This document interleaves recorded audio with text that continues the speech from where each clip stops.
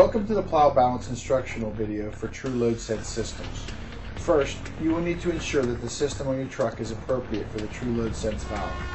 Do this by assuring that you have a load sense pump in your truck. Also, determine the standby pressure on your hydraulic system. If you have a standby pressure below 350 psi, then the True Load Sense valve is the correct system for the truck to work properly. This video is divided into three categories. Hydraulic system setup, electrical setup, adjustment of the plow balance system. We highly recommend that you view each system installation video before you begin your installation. The step numbers in each video are the same step numbers in your printed instructions. Hydraulic system setup. Step 1.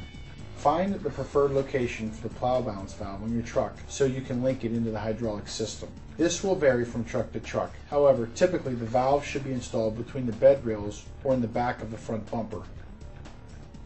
You must not weld on the rails of the truck.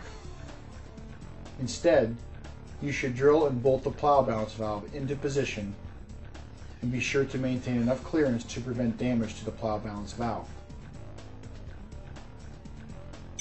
Step 2. Once you have selected the location, mount the plow balance valve onto the truck. Step 3. Next, you will reroute the current hoses from the plow cylinder into port CA and CB on the plow balance valve, making sure that the lift or up hose is connected to port CA and the lower or down hose is connected to port CB. This is important as the plow balance holding circuit will only hold the plow off of the road if the correct connections are made. If current hoses do not allow for an easy connection, new hoses may be required. Step 4.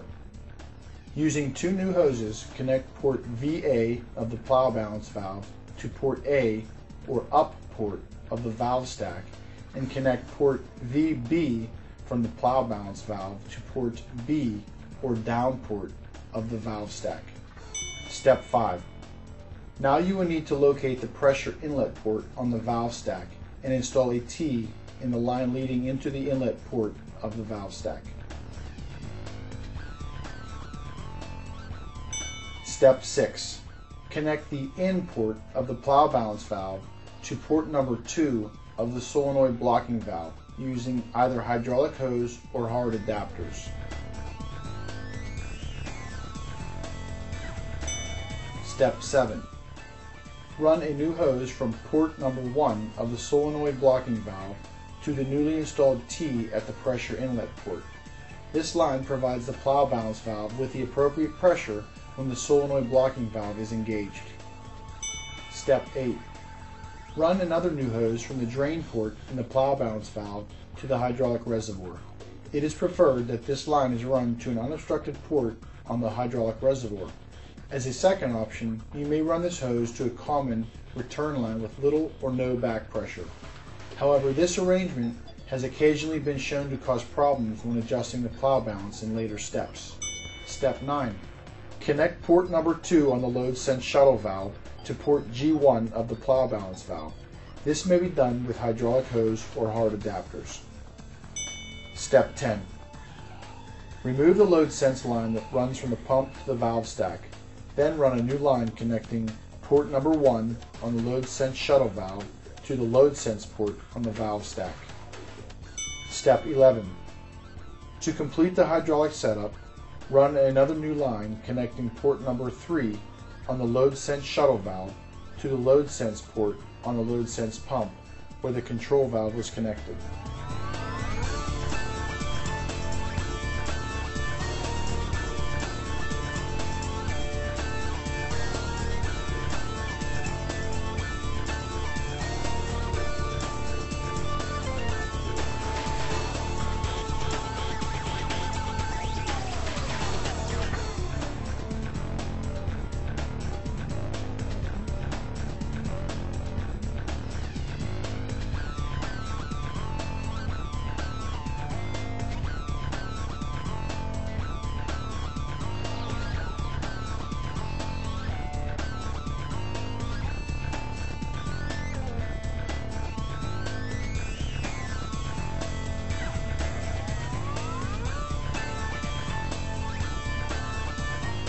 Is time to set up the electrical components of the system.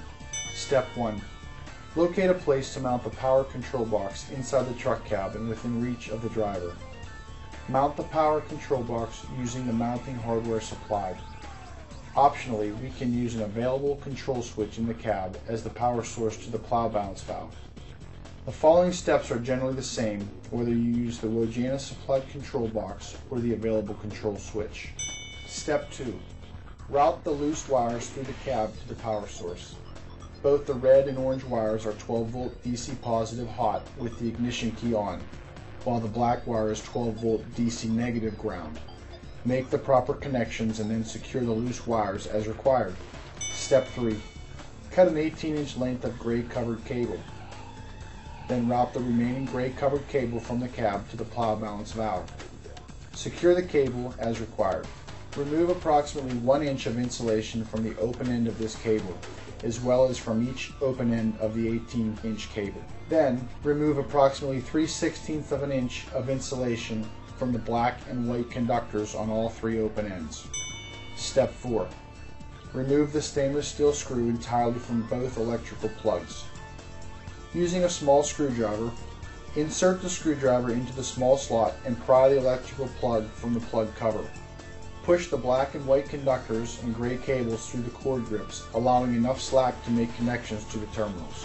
One plug will serve as a junction for two cables. Step 5.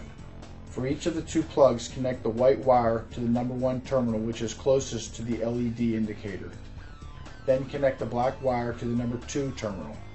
The ground terminal is not used. Step 6. Pull the gray cable with the electrical plug attached back towards the plug cover. Snap the terminal block into the housing. Tighten the cord grip onto the cable. Position the electrical plug in the housing so that when attached to the coil, the cord grip is facing either down towards the road or back towards the rear of the truck. Step 7. Apply silicone grease to both sides of the gasket. Put the gasket onto the coil by pressing over the electrical prongs. Step 8.